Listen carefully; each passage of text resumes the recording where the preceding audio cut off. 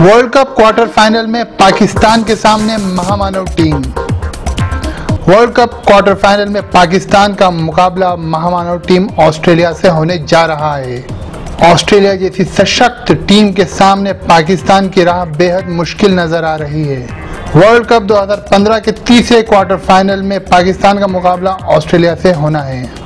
Australia team अपने घरेलू मैदान में पाकिस्तान से 20 मार्च को भिड़ेगी। क्रिकेट विशेषज्ञ इस मैच को ऑस्ट्रेलिया की तरफ़ झुका मान रहे हैं। हालाँकि पाकिस्तान टीम ने दक्षिण अफ्रीका के खिलाफ ग्रुप मैच में जीत हासिल करके फॉर्म वापसी के संकेत दिए हैं, लेकिन खेल के हर विभाग में उसका प्रदर्शन एक जैसा नहीं है। ऑस्ट्रेलिया के खिलाफ पाकिस्तान के लिए यह मैच बेहद मुश्किल है क्योंकि सामने ऑस्ट्रेलिया जैसी बेहद ताकतवर टीम है। और उस पर यह कि वह अपने पसंदीदा मैदान एडिलेड में खेल रही है। इस मैदान पर ऑस्ट्रेलिया ने बेहतर खेल दिखाया है। तकनीकी पक्ष में भी ऑस्ट्रेलिया के सामने पाकिस्तान कहीं नहीं ठहरती। सलामी बल्लेबाजी, फील्डिंग, डेथ ओवरों में रन बनाना जैसे सभी मामलों में ऑस्ट्रेलिया पाकिस्तान से कहीं आगे है। पाकिस्तान के लिए कहा जा रहा है कि उसके पास बेहतर गेंदबाजी आक्रमण है। लेकिन एक नज़र ऑस्ट्रेलिया की गेंदबाजी पर भी तो डाल लीजिए।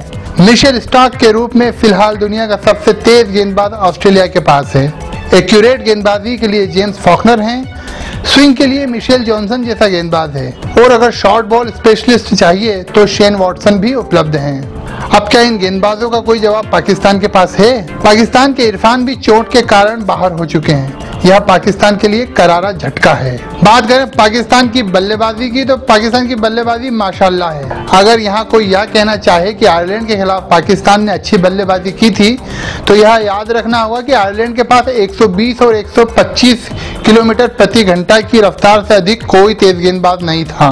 लेकिन ऑस्ट्रेलिया के गेंदबाज आग के गोले फेंकते हैं। पाकिस्तान के लिए आसान नहीं होगा। आंकड़े और ऑस्ट्रेलिया और पाकिस्तान टीम का मौजूदा फॉर्म यह कहता है कि पाकिस्तान अगर किसी तरह इस मैच में ऑस्ट्रेलिया से जीत गया तो यह वर्ल्ड कप 2015 का सबसे बड़ा उलट फेर होगा।